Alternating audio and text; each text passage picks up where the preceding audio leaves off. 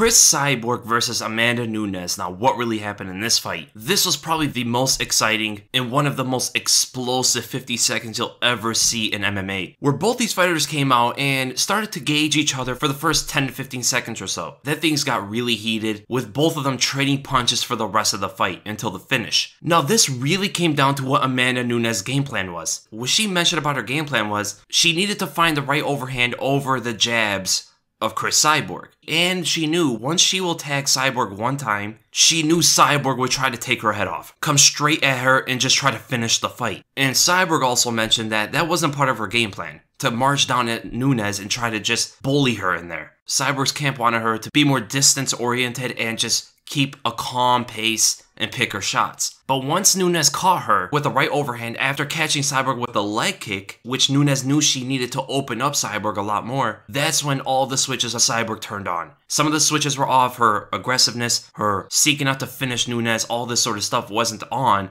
but that triggered everything for Cyborg to just come at Nunes. Cyborg mentioned it after the fight as well. If she gets hit, she cannot allow the opponent to get away with it. She has to hit them harder. A lot of fighters we've seen have the same mentality. Guys like Wanderlei Silva, Jose Aldo, a lot of fighters, if they get hit, they can't let the fighter get away with that one. It's almost like a pride issue. And that's what the game plan of Nunes needed. Because the whole game plan of Nunes was oriented on countering Cyborg. And if Cyborg's gonna march down at her, and try to take her head off, that's just going to give more openings for Nunes's game plan to work, right? For instance, when they were just gauging each other, Nunes couldn't find the right overhand that well because Cyborg wasn't showing Nunes what she needed to counter. She didn't show her that jab consistently like later when she did when she was marching down Nunes. And Nunes, she found the opening she needed for that right overhand. Cyborg almost always is heavy on her front leg, right? She can't really lift it too much, she can't check kicks too much because she's always leaning on it and because of that, she does have a good ability to pull on punches. With her upper body, she just leans away from punches because of that, almost like Nate Diaz in a sense. And then she likes to counter with her right hand. She used that a lot against Holly Holm. But the thing that nobody was doing to Cyborg pretty much her entire career was leg kicking her because of that. And you saw that. When Nunes went forward, what was the response of Cyborg? She pulled.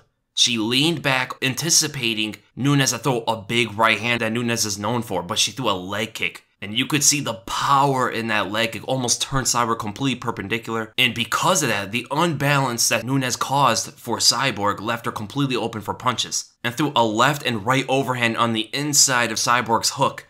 And this caught Cyborg clean, and this is when everything changed. The entire approach of Cyborg changed to take out Nunes. And another thing about Nunes was she almost always, except for a couple occasions, threw the right overhand first and then the left hook. And the right overhand was a little bit more looping, it had more power. It was meant to finish or hurt Cyborg. That was the intent in that punch. The left hook was almost always used to get back her stance, as well as landing on the inside. It wasn't looping most times she threw it in the fight. And because of that, she was landing her punch on the inside, which is going to get to the target first and is also going to protect her from the hooks of Cyborg. After that first combination that hurt Cyborg, no head movement at all. Notice every single exchange. Notice Cyborg's lack of head movement. It was always on the center line, and that is a very dangerous thing against someone like Amanda Nunes, and especially someone with the precision of Nunes. We're talking about the most accurate and lethal puncher in women's MMA. And once that exchange happened that hurt Cyborg, then Nunes' game plan started to commence a lot more. Cyborg is going to engage her and throw a lot more hooks and throw a lot more jabs, throw a lot more punches with lacking defense. And the reason why Nunes's game plan was to revolve around the jab of Cyborg, try to counter that with the right overhand, you would probably think, but straight punches most of the time beat looping punches, but there are times where it doesn't, where the defense is lacking. When you throw a jab, you want to cover the chin with the shoulder and don't drop it. You want to bring it back, as well as try to land on the target. All three of those things, Cyborg lacked. Shoulder wasn't covering the chin, which left an opening for the right overhand, over the shoulder to catch the chin, and she missed almost every jab she threw at Nunes, and that's because Nunes, with the right overhand, it's a natural head movement on the inside as her right hand's coming over the top. So it's a very good counter to Cyborg's type of jab. And because of that, Nunes never needed to set up off of her jab. And there was a point in the fight, about 41 seconds into the fight where Cyborg was rocked. She got stumbled already. She got rocked. And then she started moving into the right hand of Nunes, which is something nobody really does. And again, the right overhand was just able to find home as Cyborg was trying to go for her own left hook. And it was landing on the inside. And as Cyborg was standing up, I mean, she's completely out of it at this point. Nunes was just finding the target, landing the right overhand at will at this point. She was stepping off to the left to get the angle down the center as Cyborg was kind of standing up to her own left, which created a very dangerous angle for Nunes.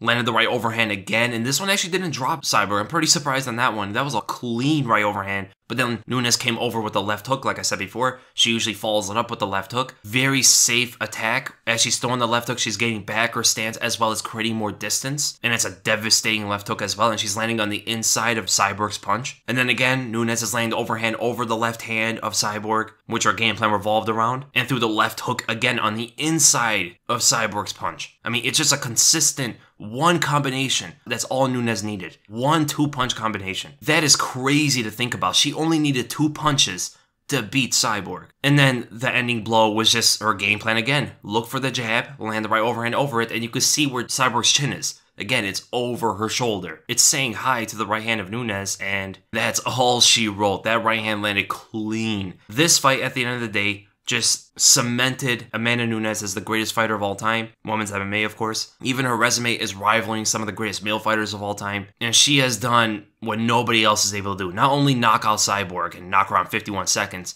not only claim a title in two divisions, her competition is absolutely insane to look at. Germaine de Randamie, TKO. Valentina Shevchenko beaten twice, although close fights. Miesha Tate submitted her in the first round.